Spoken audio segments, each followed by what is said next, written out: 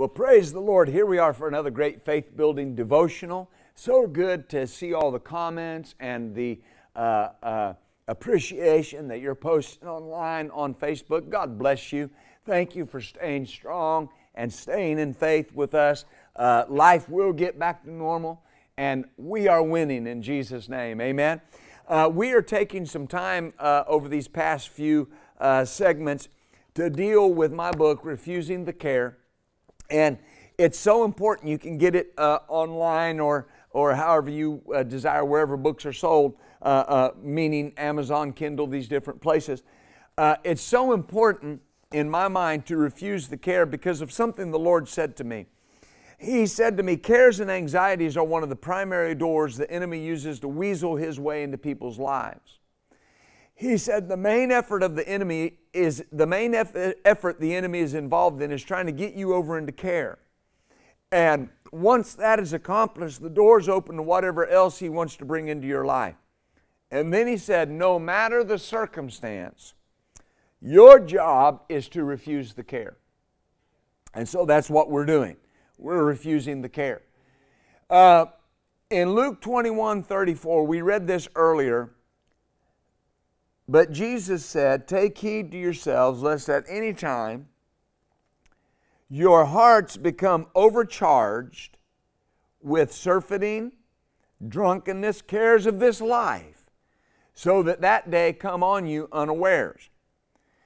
Jesus said that one of the things that we had to be on guard against in the last days was the cares of this life.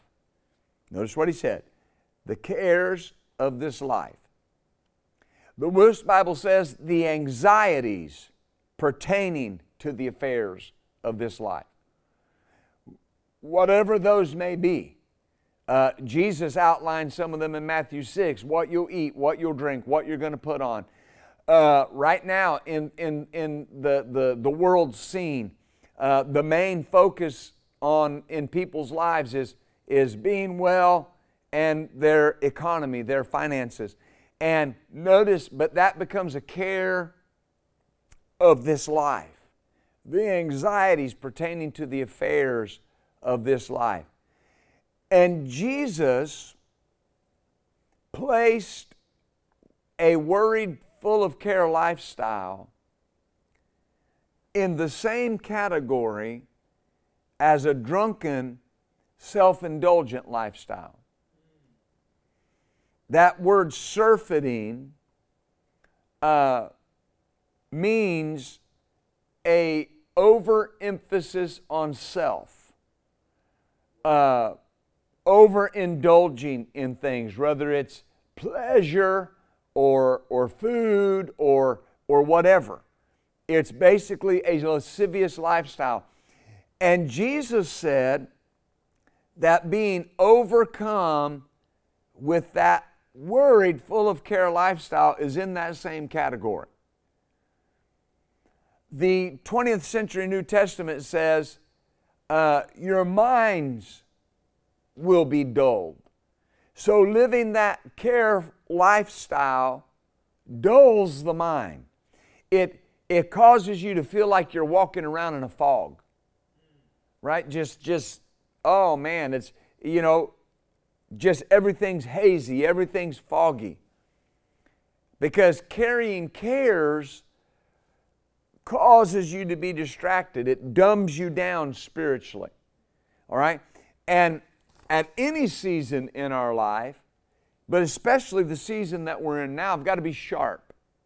I got to be sharp spiritually. I've got to be hearing from God. All right? I've got to be hearing from God for my family. I've got to be hearing from God you know, what God is saying to us, what God is speaking to us. And so I can't allow myself to enter into care, and I can't allow cares to enter into my life. It's so detrimental because when I enter into care, there's things that I'll miss and uh, things that will come on me. All right, because cares become a distraction. I really want to implore you to stay focused. Isaiah 26 and 3 says that God will keep him in perfect peace whose mind is stayed on him. whose mind is stayed on Him. And we read the other day in Mark chapter 4 and uh, verse 18 and uh, 19. There's so much here where this is concerned. We'll try to get through this chap this verse in Mark 4 and then we'll go to Luke 8 in a moment uh, in today's teaching. Then next week we'll pick up here again. But Mark 4 18 and 19 and Jesus talks about these are they that are sown among thorns, such as hear the word, and the cares of this world, deceitfulness of riches, lust of other things, entering in, choke the word, and it, the word, becomes unfruitful. Well, that is a preoccupied heart. All right? This person is not necessarily malicious. They're uh, not necessarily living in sin. They are simply overly concerned about the anxieties of everyday life. You know, years ago, I read a book called uh, How to Stop Worrying and Live Your Life. And it was by uh, a gentleman named Dale Carnegie. And Dale Carnegie is obviously famous for how to win friends and influence people and, and, and different things. Now, he, the man had a lot of spiritual principles in his writing, but he made a statement in that book, uh, How to Never Worry Another Day in Your Life. He said, If something is worrying you, sit down and write out the worst possible thing that could happen if that occurred.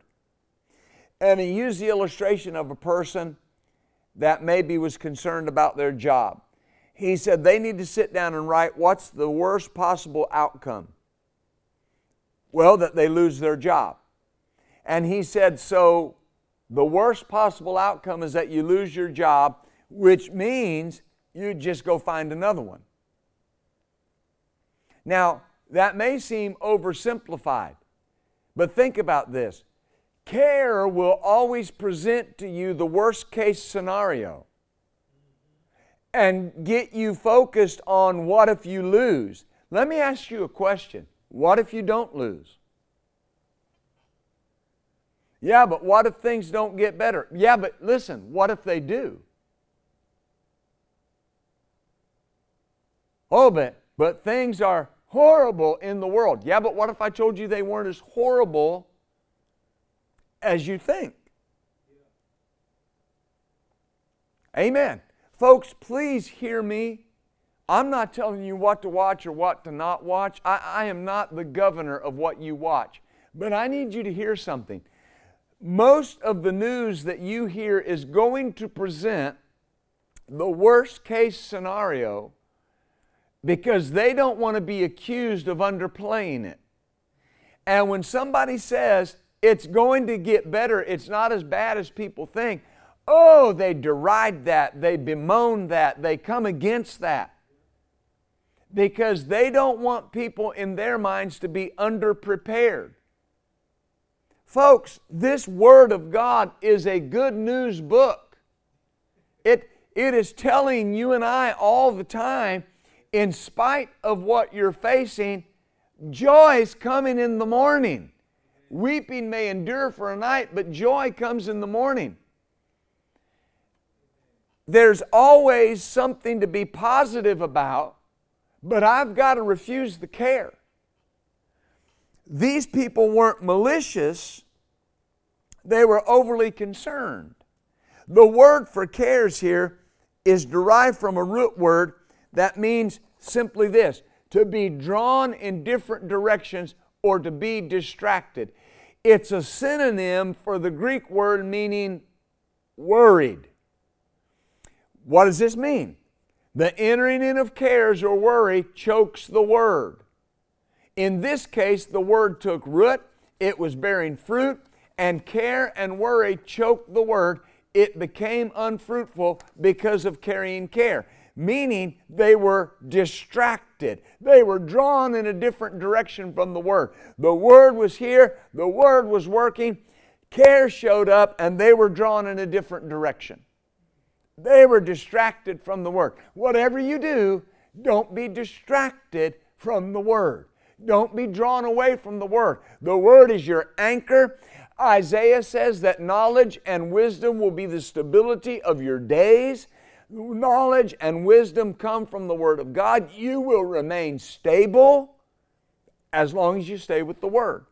Don't be distracted from it. Amen. In uh, Luke 8 and 14,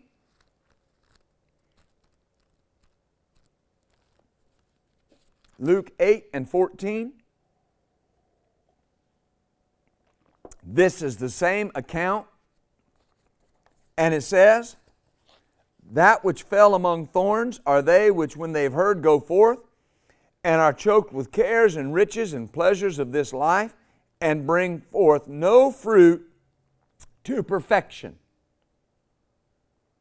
The Wuest Bible says, That which fell into thorns these are those who heard and under the pressure of anxieties and wealth and pleasure of a materialistic life as they go on their way are being choked and they are not bringing forth fruit to maturity. Hallelujah. The goal of the Christian life is maturity. The expectation of Jesus is that we grow and mature. Ephesians 4:12 says, uh, uh, "For the edifying to build up advancement of the church uh, with the word." 1 Peter 2 says that through the word you may grow. Hebrews 5 12 through 14 says you ought to be teachers. You should have matured to the place that you can teach others. One of the greatest enemies to that growth and advancement is the carrying of care. Care will stunt your spiritual growth because you can't bring forth fruit. It was the pressure of anxieties that caused the word to be choked in Luke 8 and stop the production of mature fruit.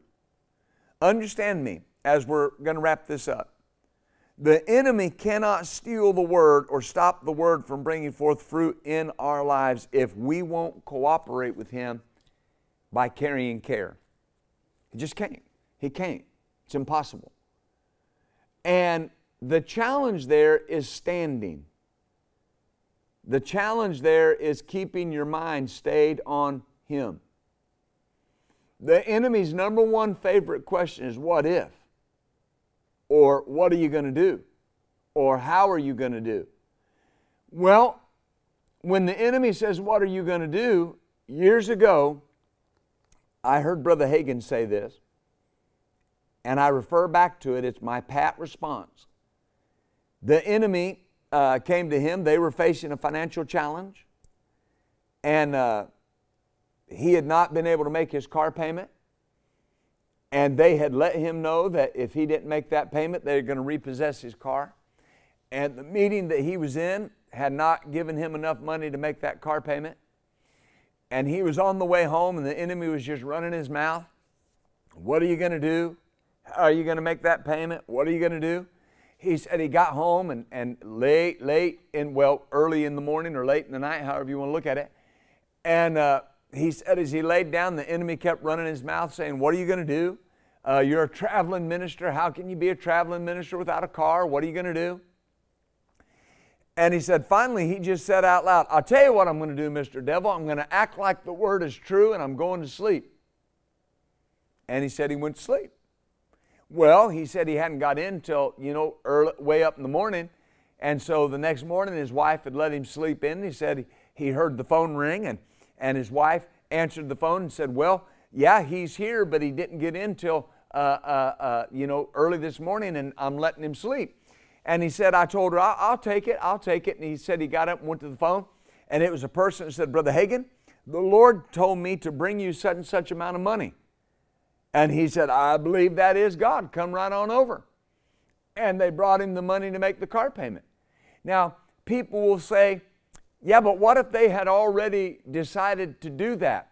They had all, if they had already decided to do that, it was because he had made a decision I'm going to act like the word's true.